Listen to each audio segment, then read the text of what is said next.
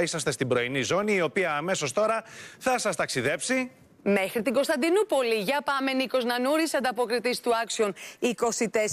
Και, και μαζί μας. Βεβαίως, και να πούμε λοιπόν και μία καλημέρα. Κοντά μας είναι ο κύριο.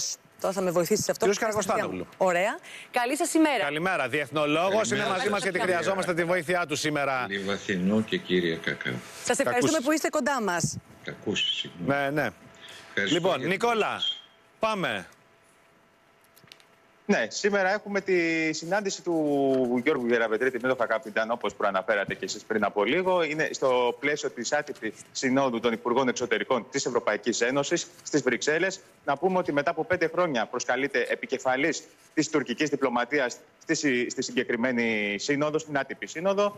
Εκεί λοιπόν που 12 περίπου ώρα Ελλάδος ε, υπολογίζεται ότι ο Έλληνας Υπουργός Εξωτερικών θα συναντηθεί με τον Τούρκο ομόλογό του, αναμένεται να θέσουν επιτάπητος τις ελληνοτουρκικές σχέσεις, το κυπριακό, αλλά βεβαίως και τις ευρωτουρκικές σχέσεις. Ουσιαστικά θα γίνει μια προσπάθεια να σχεδιαστεί ένας οδικός χάρτης για το τι ακριβώς ε, θα υποθεί ανάμεσα σε Κυριάκο Μητσοτάκη και Ταγί Περντογάν σε έναν ακριβώς μήνα στο, στο περιθώριο της Γενικής Συνέλευσης του Οργανισμού Ηνωμένων Εθνών, εκεί όπου οι δύο ε, ηγέτες αναμένεται να έχουν μια νέα συνάντηση μετά από αυτή τη συνάντηση που είχαν στη σύνοδο, στο πλαίσιο της Συνόδου Κορυφής ε, του ΝΑΤΟ. Ναι, ναι βρε Νίκο μου, αλλά ξέρεις τι γίνεται τώρα. Εδώ φαίνεται να έχει χαθεί το momentum. Δηλαδή, φαίνεται τα πράγματα να μην είναι όπως ήταν έξι μήνες πριν. Ε, τα γεγονότα της Καρπάθου έχουν παίξει το, το ρόλο τους και οι δύο υπουργοί, τους οποίους τους είδαμε και στα προηγούμενα πλάνα έτσι τόσο θερμά να, ε, και εγκάρδια να χαιρετιούνται, φαίνεται να μην είναι στο ίδιο mood πλέον. Σίγουρα το κλίμα είναι διαφορετικό, καθώς είχαμε βεβαίως και το το περιστατικό μέσα στον Ιούλιο με το, με το, το Ιταλικό ερευνητικό πλοίο, τις έρευνες που έκανε ανοιχτά της Κάσου και της Καρπάθου, που έφερε και την αντίδραση ε, της Άγκυρας, είχαμε βεβαίως και τους υψηλούς τόνους στο Κυπριακό. Είχαμε κάποιες πιέσει στα κατεχόμενα τον Ιούλιο, αυξημένη τόνη γενικότερα.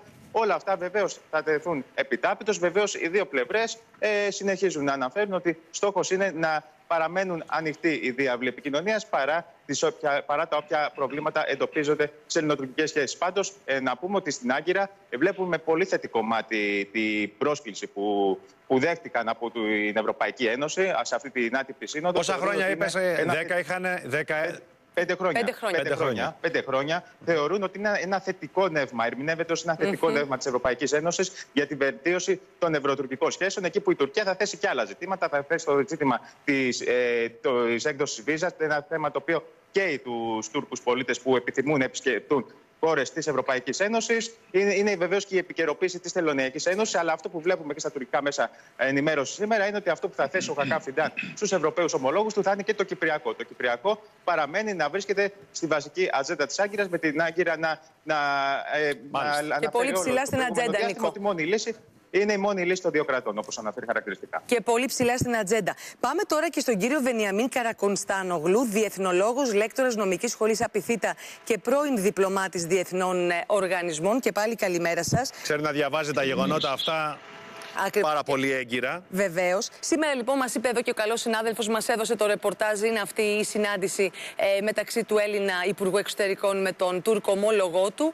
Μία συνάντηση μετά τα γεγονότα της ε, Καρπάθου και φυσικά ένα μήνα ε, πριν από την συνάντηση του Έλληνα Πρωθυπουργού με τον ε, Τούρκο Πρόεδρο. Τι να περιμένουμε από αυτήν τη συνάντηση σήμερα; Κοιτάξτε, αν γυρίσουμε στο παρελθόν και δούμε τον Νοέμβριο του 2019 η Τουρκία να υπογράφει το τουρκολιβικό παράνομο και ανυπόστατο κατά την ελληνική αξιολόγηση αλλά και διεθνών οργανισμών μνημόνιο οριοθέτησης. Αν δούμε στη συνέχεια κύριε Κακούση και κυρία Λιβαθινού και κύριε Νανούρη Κακούση. Ε, και κύριος Νανούρης, Κακούση και Νανούρης. Και Νανούρης. Ναι.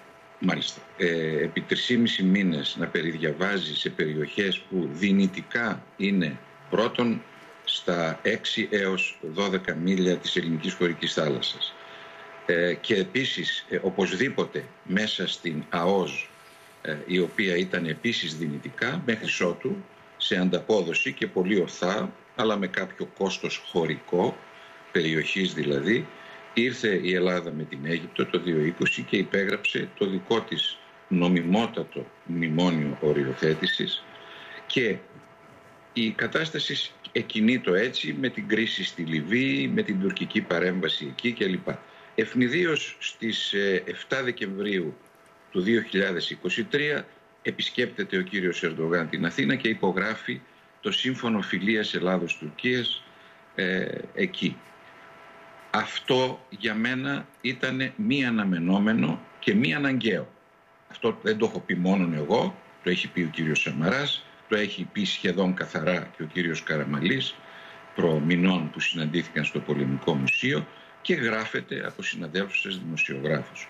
Αν δούμε τι κέρδισε η Ελλάδα και τι κέρδισε η Τουρκία, νομίζω και αυτά που είπε μόλις ο κύριος Νανούρης ως προς τον πώς βλέπει η Τουρκία τη συμμετοχή του Υπουργού της, του κυρίου Φιντάν στο Ευρωπαϊκό Συμβούλιο, νομίζω ότι δείχνουν ότι η Τουρκία πρώτον ξεκινώντας κάποιας μορφής ε, συνεννόηση, ας την πω έτσι, γιατί το κείμενο το οποίο υπεγράφει γράφει ρητά σε δύο σημεία τουλάχιστον ότι οι θέσεις των πλευρών δεν αλλάζουν. Να. Αλλά ξέρετε, επειδή στο διεθνές δίκαιο, το οποίο δίδαξα επί 40 χρόνια στην νομική σχολή του ΑΠΙΘΙΤΑ, ε, κινείται κυρίως με τις πολιτικές των κρατών, που κάποτε προσαρμόζονται στο διεθνές κάποτε όχι όμως. Και άρα αυτό το state practice, η κρατική πρακτική, λαμβάνεται και ίσως ληφθεί κάποτε σοβαρότατα υπόψη από το Διεθνές Δικαστήριο της Χάγης, αν κληθεί οψέποτε να ε, δώσει την λύση στα, στις ε, θαλάσσιες διευθετήσεις Ελλάδος-Τουρκίας, ναι. αυτά όλα είναι εξαιρετικά επικίνδυνα, πέρα από το τι λένε τα κείμενα.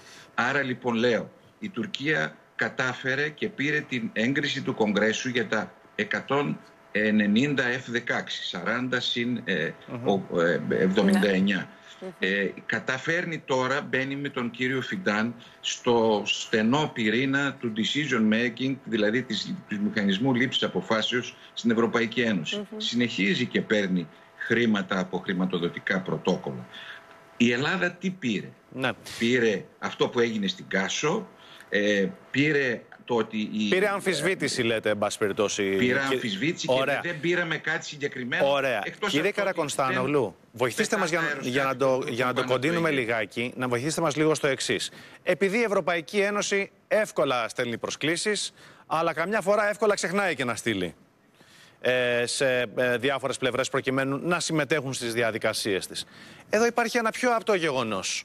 Φαίνεται ότι οι Τούρκοι με τους Αιγύπτιους είναι σε μια συνεννόηση και σε επικείμενη συνάντηση Ερντογάν με Σίση, τον οποίο τον, μέχρι προχθές τον έλεγε δικτάτορα ο, ο, ο Ερντογάν, προκειμένου να υπογράψουν τη δική του συμφωνία για οριοθέτηση των, των ζωνών τους. Αυτό πόσο επηρεάζει την, το Ελληνοαιγυπτιακό σύμφωνο και πόσο αλλάζει τα δεδομένα στην περιοχή, για να κλείσουμε με αυτό.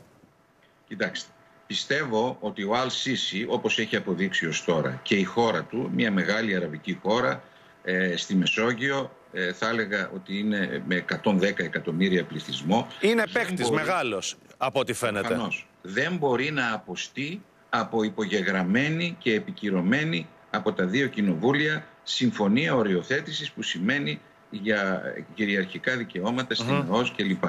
Άρα αν η Τουρκία συνεχίσει από τον 28ο μεσημβρινό και ανατολικότερα προς την Κύπρο δηλαδή και προς το Ισραήλ να οριοθετεί με την Αίγυπτο αυτό είναι ένα το κρατούμενο. Αν όμως αλλάξει η υπάρχουσα οριοθέτηση και σε αυτό η ανοχή, η ανεκτικότητα της Ελλάδος, να πω του κυρίου Γεραπετρίτη, αλλά στα θέματα εξωτερικής πολιτικής, στα μικρά κράτη, ο Πρωθυπουργός κάνει παιχνίδι, το ότι δεν αντιδράσαμε ή αντιδράσαμε με έναν άκρος χαλαρό έως ανύπαρκτο τρόπο στα, στην ουσιαστικά διεκδίκηση από, Τουρκία, από την Τουρκία να είναι νόμιμο ε, και υποστατό, να το πω, το δικό της τουρκολιβικό που δεν είναι του παρόντος, μπορούμε ίσως κάποτε να συζητήσουμε, το γιατί δεν είναι. Και ε, το θέμα των ε, πάρκων στο Αιγαίο και αυτό είναι ένα μεγάλο θέμα, όπου σε περιοχές που υπάρχει τεράστια περιοχή ε, ανάμεσα στα νησιά τα Κυκλαδονήσια και την Δωδεκάνησο ελληνικής χωρικής θάλασσας έρχεται η Τουρκία και μας λέει ότι θέλει να ερωτηθεί για το αν θα κάνουμε αιωλικά και άλλα περιβαλλοντικά πάρκα. Αυτά όλα αποδυναμώνουν την ελληνική θέση. Και άρα Μάλιστα. η Τουρκία προφανώς θα πάει με χαρά στις Βρυξέλλες και Μάλιστα. ε, Μάλιστα. προχωράει τους στόχους της. Το ότι ο κύριος Ερντογάν ε, πήγε στην Κύπρο Και να κλείσουμε με αυτό, μιλώντας ελάτε. εκεί και είπε, είναι σημαντικό αυτό όμως, Ναι, ναι, ότι βεβαίως. κακώς και δεν καταλάβαμε την υπόλοιπη Κύπρο το 1974, το ότι έκλεισε η Ιερά Μονή της χώρας αφού είχε προηγηθεί ε, η, μουσουλμα, ε, η μουσουλμανοποίηση ως τεμένους του, της Αγίας Σοφίας και τώρα είχαμε και το περι- επεισόδιο που ε, δεν επετράπει στην ε, Παναγία Σουμελά στο ιστορικό Να λειτουργήσει το ε, 15 χώρο της, Αύγουστο. να λειτουργήσει. Όλα αυτά δείχνουν δεν υπάρχει αμοιβαιότητα. σε Μάλιστα. αυτό. Είναι θέματα. Και να πω και το άρθρο του Ε, κ. πρέπει- Ρωσάκη, Σας ο οποίος, ευχαριστώ. αμα- Ναι. αν και νομίζω είναι φιλικά προσκύμενος προς την κυβέρνηση, έρχεται και ασκεί μια προσεκτική βέβαια, κριτική όμως, στη- στο άρθρο του προ δύο εβδομάδες στο, βι- στην ε, Καθημερινή. Μάλιστα. Να σας ευχαριστήσουμε Ευχαριστούμε πάρα πολύ. πολύ. Να είστε καλά την καλημέρα μας και τον ε, Νίκο Νανούρη από την ε, Κωνσταντινούπολη.